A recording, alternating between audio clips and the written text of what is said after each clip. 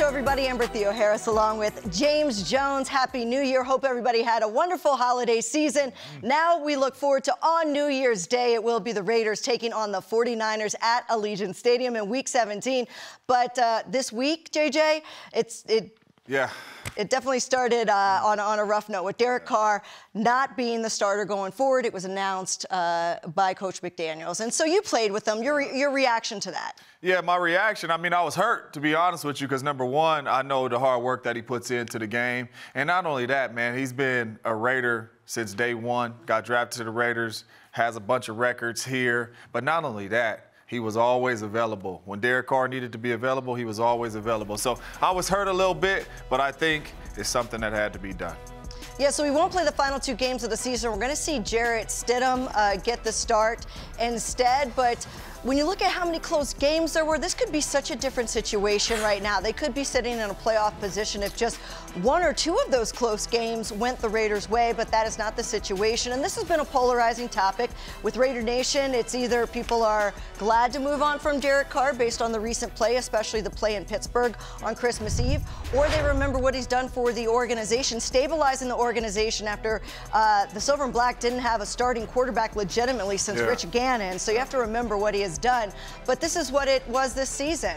You know, 14th in yards per game, 8th in touchdowns, but in interceptions, that is kind of the glaring number. A lot of mistakes, leads the league in interceptions, and is second to last in completion percentage. And so uh, Derek Carr will not be with the team over the next two weeks. We don't know how that story will end. Josh McDaniels say uh, said there is not a finality to this, but it surely feels like it. And in the meantime, the Raiders are going to get a look at Jarrett Stidham and uh, the young quarterbacks. And so Congratulations to him. His first start uh, in the NFL will be against the number one defense in the NFL against the 49ers. And, and there's the resume. He comes over from the Patriots. He was a fourth round pick back in 2019. And so Josh McDaniels, uh, Dave Ziegler knew him very well, brought him over to be the backup here. And uh, he's had eight appearances. He's just never started in the NFL. This is a, this is a tall task, yeah. Uh, needless yeah. to say, for him. You know, uh, rest in peace to my mother in law, but she used to call me before every game, right? For nine straight years, and she used to say, "Show them what you're working with." right? they so, go out there. Hey, I don't care who going out there, yeah. right? You going up against the number one defense in football. The Niners is the, the hottest team in football right now, playing extremely well, won their last eight games, right? You're comfortable with this offense. You've been in this offense. You've been in this system. You've been with Coach McDaniels. Go out there and show the world what you got. And you have a really good opportunity against a really good opponent to say, I can be that guy. Yeah, a lot this of great is your opportunity. started with an opportunity. There was a guy by the name of Tom Brady that was a six-round pick mm-hmm. that got an opportunity uh, about 20 years ago, and, and the Brett rest Favre, is history. Brett Favre, the rest is history. Down, yeah. So uh, here is what Jarrett Stidham had to say about getting his first NFL start. Yeah, I mean, obviously, you know, you, you dream of playing in the NFL, you know, as, as a kid, and um, and, and to start a game, you know, in the NFL, it's a you know dream come true. But at the same time, um, I've been preparing, you know, since my rookie year. I, have tried to prepare the same every single week, uh, whether I was the backup or the starter. Um, obviously, obviously, I've gotten to learn under a bunch of a, a bunch of really good guys, uh, players, coaches. So I've always tried to treat treat the weeks the same, um, and it's no different no different this week.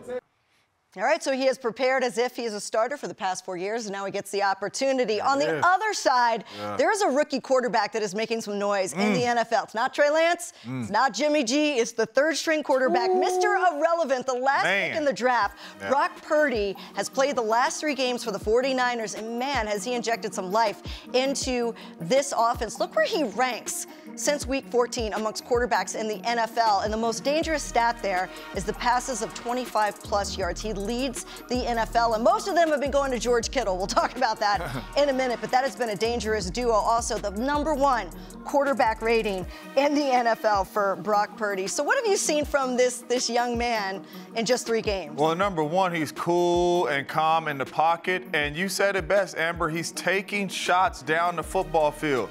The reason why Kyle Shanahan said we want Trey Lance, we want to go away from Jimmy G, is because Jimmy G was not taking any chances down the football field. And then here comes Brock Purdy, right? Throwing the ball all over the yard, taking shots down the football field to these big time playmakers. Brandon Aiyuk, we've seen George Kittle, and that is opening up the run game. And Kyle Shanahan is able to get to anything and everything he wants to get to with Brock Purdy under center. And they are a much better team and a better offense with Brock Purdy than Jimmy G, and it's proven. Did you see the stat at the bottom of the screen there that him and Hall of Famer Dan Marino mm. are the only quarterback since 1950 with multiple touchdown passes Ooh. and a 100 plus passer rating mm. in their first three games? That's good company That's really to be with. When we come back, we're going to break down this 49ers defensive front that the Raiders offense is facing. Josh McDaniels on going up against Nick Bosa and them boys. The Silver and Black Show is brought to you by Cox, proud partner of the Las Vegas Raiders. Allegiant, the official airline of the Las Vegas Raiders. Low fares, nonstop flights. Book now only at Allegiant.com. 1800, the best taste in tequila and official partner of the Raiders. Second down, long seven, short eight. Nice block by the top. Fumble again. Recovered, it looks like, by San Francisco. It popped right up. Has Heinicke fumbled again? That's Bosa knocks, That's yeah, Bosa knocks the ball in the air. It's definitely not a pass. That's where their whole defense starts is in the front. Uh, we know that. Our, our, our team knows that now. We've seen it now for a few days, and um, they play really hard. And so it's going to be important for us to strike first in terms of when we get off the football, we're going to have to make contact. We're going to have to keep our hands inside. They're extremely well coached. They do a great job with their fundamentals and technique, and they play extremely hard. And when they're gassed or tired, then they're going to come out, and the next four are going to come in. And that group plays really well. Yeah. So they got depth. Uh, they're almost always fresh. Um, they got good rushers. They play the run well. Um, so this is going to be a big challenge for us, and, and people have done it uh, but you got to do it the right way. So the Raiders go up against the 49ers and their number one defense, JJ, and it is led by Nick Bosa, Defensive Player of the Year candidate. Many think that he is the shoe in for that award. Leads the league in sacks and going after a rookie quarter, a young quarterback, not a rookie quarterback, but a fourth year quarterback in Jarrett Stidham. Um, that's going to be tough for the Raiders. Yeah, and, and it don't matter who the quarterback is. It don't matter if it's Aaron Rodgers, Tom Brady. Here comes 97. 97 is unblockable. You know the way to block them? Get the ball out of your hands fast. You know another way to block him? Run the football. But 97, he since he's come into the National Football League, he has been a game wrecker, and it has not changed. He is unblockable one-on-one. So I am assuming Josh McDaniels, when we are on the offensive side of the ball, it's going to be plenty of running back chips. It's going to be plenty of tight ends on his side, chipping to slow 97 down. Because if we allow him to get going, you see the numbers, Amber, it's going to be a tough day. He leads the league in sacks, as I said, 17 and a half. But hey, there's that guy named Maxx Crosby on the Raiders side as well, that is also a Defensive Player of the Year candidate, leading the league with 19 tackles for loss. And look at their quarterback pressures. I mean, both of them just get after the quarterback. So could be a tough day for Brock Purdy, and it could be a tough day for Jarrett Stidham. It's mm. going to be a great uh, defensive matchup there on both sides, and it's fun to always get to see two of the best in the NFL, two Pro Bowlers on the same field. And here's what Maxx Crosby said. He was asked, do you have sort of this rivalry? You came into the same draft class with Nick Bosa. Do you have a rivalry? Here's what he said. You know, it's it's funny, like, because both fan bases, you know, always talk about for some reason, ever since my rookie year, you know, the Niners being from the Bay and Oakland as well. So like, it automatically like people created this beef between me and Nick, and like people send me stuff all the time, like Niner fans coming at me saying I suck, and I'm like, damn, I don't know what I did to y'all. I've never even played against y'all, but yeah, they they always come, you know, go back and forth about me and Nick. But um, it's funny, me and Nick are me and Nick have been boys ever since our rookie year. We talk all the time, um, and he's just been you know, seeing what he's done in his career has been incredible. Um, and we came in together in the same draft. So um, watching him and seeing what he does gives me inspiration because I want to be the best. And you know, he pushes me. I see him what he's doing, and I'm like, okay, you're doing that. I shit, I got to keep going hard. So uh, yeah, I got a ton of respect for him. He's a great dude, and uh, you know, I'm just proud of him for what he's done in his career so far. See, Maxx Crosby didn't know about the Battle of the Bay. Oh, People in real. Oakland still remember that, throwing back to the 49ers, uh, Oakland Raider days. But now, real. of course, is Las Vegas. And, and Maxx Crosby in that defense is going to have to stop Christian McCaffrey, who came over in a trade from the Panthers in week eight. And since then has been fire Yeah. in a Kyle Shanahan offense. Tough to stop that run. Yeah, and we're talking about a bad man. I mean, we know what he did in Carolina, but since he's come over here, I mean, the Niners are 8-0. I mean, they dang near first in everything. I mean, Christian Caff- McCaffrey is one of the best running backs in the game. And it's not just running the ball in between the tackles, it's in the pass game as well. I mean, we've seen him throw touchdowns, we've seen him catch touchdowns. There's nothing that he can't do. And having him in the backfield on top of having George Kittle and Brandon Aiyuk and those guys, it is a big, big problem. And that's why the Niners are having so much success on the offensive side of the ball because 23 can play at a very high level. This defense for the Raiders has their hands full, Amber. It's so versatile. You know, the way that Kyle Shanahan not only uses Christian McCaffrey uh, catching passes out of the backfield, as you said, but Deebo Samuel, who we don't know if is, go- is going to play or not. He's a receiver that can play as a back. It's just an expansive playbook, and it is a it, it's tough for the Raiders defense. They're going to have to be on point to stop this offense. Nobody has benefited though, JJ, more than uh, more from Brock Purdy coming in than George Kittle. Yeah. Who would have thought that? George Kittle, one of the best tight ends in the league, was having kind of a mediocre year. And then enter Brock Purdy, and all of a sudden he has had two weeks that are historical in the NFL. So going up against those safeties and the Raiders defense, how's that matchup look? Yeah, Brock Purdy's a really smart kid because, I mean, if I came in to play quarterback for the San Francisco 49ers, I'm looking for 85 and 19 too. But no. George Kittle has been going crazy since Brock Purdy has come in there, and the play designs are phenomenal too. So I'm looking at our safeties, right? If we have to play George Kittle man to man, I do not want to see our linebackers on him. I want to see our safeties coming down to be able to run with George Kittle, to be able to make it tough on George Kittle because he will absolutely destroy any linebacker in the National Football League. So the matchup is our safeties on him because you're gonna have to bring them down in the box, Amber, because you gotta stop Christian McCaffrey. You gotta stop the run game. So let the linebackers come down and tackle. Let the linebackers come down and hit. The safeties are in charge of George Kittle, and hopefully they can slow him down. Remember, I said the last two weeks he's been on fire. Look at those Uh-huh, numbers. And I mentioned the long touchdown receptions because a lot of that's YAC, too, right? Like yards after the catch. 25 plus yard receptions. The man has five in the last two weeks. So those big plays can absolutely kill you. And you mentioned it is going to be the safeties coming down to try to help out with George Kittle.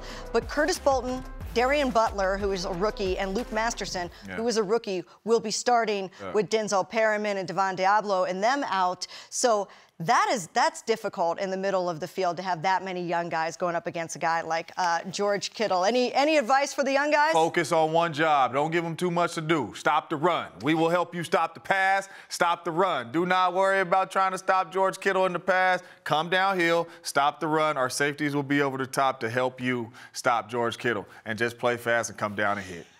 That's it. Hope for divine intervention. All right, that's that always helps. All right, coming up next, we're going to talk to Luke Masterson. I sit down with him to talk about what's been a great rookie season for the Raiders linebacker.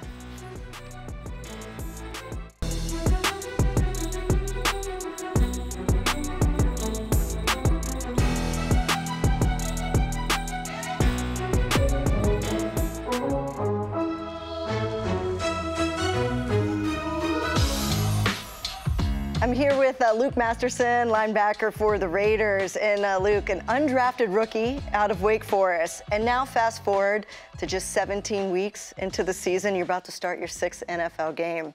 Uh, what was the first start for you like? I know you played before you got that first start, but that first start it was against Indy, right? Yep. I mean, what, did you have any moment like, wow?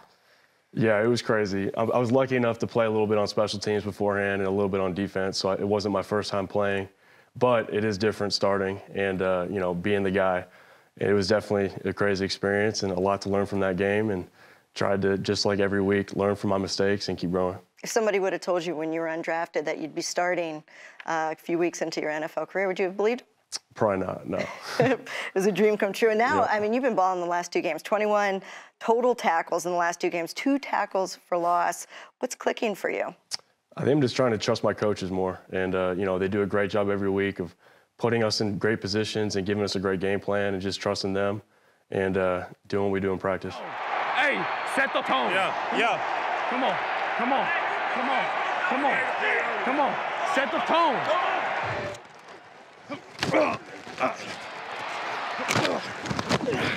Dog, dog, dog. You kind of came into a good situation with a lot of veterans on the defense. You had Denzel Perryman. Unfortunately, we're not going to see him again this season, but Duron Harmon also there. Who would you say is most instrumental in helping with your development, kind of taking you under their wing, whether it's a coach or a player on the yeah, defense? everybody's been great. I mean, Denzel, obviously, Jayon, Deablo when they were playing. Um, Duron's been great. I'm trying to take a little bit from everybody. Mhm. Um, that's one thing about this team is that all the veterans, you know, they're, they're willing to help. They, they treat you the same, whether whether you're a rookie, undrafted rookie, drafted rookie, whatever you are. Um, they all want to help and help the team win, so it's been great. And has Maxx Crosby been instrumental at all? in Max is great. I think he's, he's one of the best leaders on the team. His energy is contagious every day. Um, he practices like a madman every day, and you see that on the field in game days. He's awesome.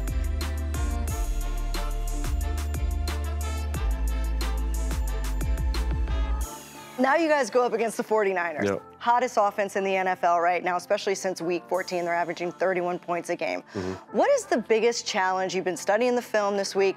The biggest challenge of going up against a Kyle Shanahan offense? Yeah, I mean, there's, they have a lot of dynamic players, first of all, but I think they do a lot to mess with your eyes. So a lot of it's pre-snap and post-snap movement. Um, so that's a big challenge for sure. McCaffrey, is that who you circle? Yeah, he's, he's Is a he big one of the most as well. dangerous? Yep, he's a big challenge. Because of the versatility, right? Yeah, he can do it all. Brock Purdy on the other side, by Yep. the way. he has a perfect passer rating right now when targeting George Kittle. George Kittle's just come to life since Brock Purdy, the rookie, Yep. has come in. What makes Kittle hard to defend as a tight end? I mean, he's dynamic. He can block. He can run great routes as well. Um, he's definitely going to be a big challenge for us this week. Jones swings it out. Oh, nice First play. down. But it did not fool Luke Masterson. I saw you beat your chest after a, a tackle, a tackle for a loss against Yeah. the Patriots. You get psyched up. Where does that swag come from? Where's that energy come from? Uh, just excited to make plays for my teammates and help the team win. Was there any linebacker that you studied growing up? Uh, Luke Kuechly, a little bit. Yeah. Wow, you just really dated yourself, or you Yeah. made me feel old. Luke Kuechly was who you looked up to because he was. He was he was playing when you were coming up. What was it about him that you wanted to be like? Uh, he's just dynamic. He could do it all. He could uh, intercept passes, make tackles for losses. He was, he was a great player. Well, Luke, congratulations on a really strong rookie season. Looking Thank you. forward to a strong finish to the season. Thanks. The Silver and Black Show has been brought to you by Cox, proud partner of the Las Vegas Raiders. Allegiant, the official airline of the Las Vegas Raiders. Low fares, nonstop flights. Book now only at Allegiant.com. Chevron with Techron gives you unbeatable cleaning and mileage. Chevron, together ahead. Um, I mean, I know he's a talented thrower. Um, got it. We've seen him play before, um, not just at the Senior Bowl, but um, I think we played him a couple years ago. Um, but he can make every throw, similar to Carr in that way. Um, but he hasn't been out there a lot, so hopefully we'll confuse him, make it tough for him. I think overall, um, Maxx Crosby is, is really good uh, on the edge. So um, whenever, whenever they have you know a player like that that you have to focus on, they can do a lot of other different things that you can sometimes um, slip up and, and not be ready for in terms of what they do with their secondary and, and their backers and whatnot. But um, I think they're talented across the board. Um, but for us, like we're just focusing on what we have to do to get better and get right for this week and uh, work on little things and habits and details that we want to clean up. So uh, it's going to be a really good challenge for us going into a really good environment, and uh, they got a they got a solid team all around. So. Whoever said that Mr. Irrelevant is irrelevant was wrong because Brock Purdy has gone 3 0 as a starter of the 49ers, going up against the Raiders defense. Also, I wanted to make a point the, the 49ers offense, the interior offensive line was completely new this year. They've done a really good job, especially with a young rookie behind them, and now they're going up against the Raiders, which is a tough defensive front as well. But, uh, JJ, the Raiders are still alive. They're saying still there's a alive. chance. I'm telling You're you, there's a a chance. If the Raiders handle their Yeah. business, they get a win against the mm. 49ers. Going into week 18, they will still be alive if, I'll keep it very simple, I know this is very wordy, the Dolphins lose to the Patriots, which is, Possible. which is possible because they got Teddy Bridgewater going out there, they don't have Tua, and the Jets lose to the Seahawks. That game is in Seattle. Yeah. You've probably played in Seattle Yes, I at this have. time of year. It is very loud, it's difficult to play. They have Mike White, the starter for the Jets. So if those two things happen, these are two teams that have lost four games in a row each, so Yeah, they're and- trending and downward. This is, this is good for the Raiders. And number one, we have to handle our business. That's the very that's the first thing we have to do. Win the game. Don't look up at the scoreboards and jumbotrons and all that trying to see what the scores are to the game. Win the game. All right. The Patriots, really good defense. They are going to make it really, really hard on Teddy Bridgewater. I could see the Patriots winning that ball game. And you going out there to Seattle. We know it should be hand signals in the hallways right now because you're not going to be able to hear nothing out there in Seattle. Geno Smith, Pro Bowler, he has not rolled back yet. Geno say you coming to my house. I can see both these things happening, but we got to handle our business. And if we do, Week 18. Jarrett Stidham could be going into Week 18 oh Las Vegas goodness. Raiders with a chance, um, but it's going to be bumping at Allegiant Stadium. You know why? Mm. Because Raiders Talk fans, Ice Cube Talk and to Too. Short are going to do the halftime show. Look at them. Look at hey. them. Man, that brings back some memories. West Coast love, going way back. Two Raiders fans. I can't wait to see both of them. I wonder what they're going to open with. Dun dun dun dun dun. dun dun. I don't know. I think I think perhaps maybe Ice Cube redoes the words to Straight Outta Compton, straight out of Las Vegas. You might come know. out with some gangster stuff. We playing the Niners. We might need to come out with some gangster stuff and let everybody know that we up in this thing, man. I can tell you one thing. I hope they don't have cameras in the press box. Oh, it's going down. I'm thinking We turned up. 1996. We turned up. A big radio like back in the day. We turned up. We're gonna have a good time. All right, you guys are gonna have a good time. Get there early. 105 kickoff at Allegiant Stadium. It is the Raiders and the 49ers. Both teams still alive in the playoffs. We'll see you guys right after the game right here on Raiders Game Day. Have a good weekend.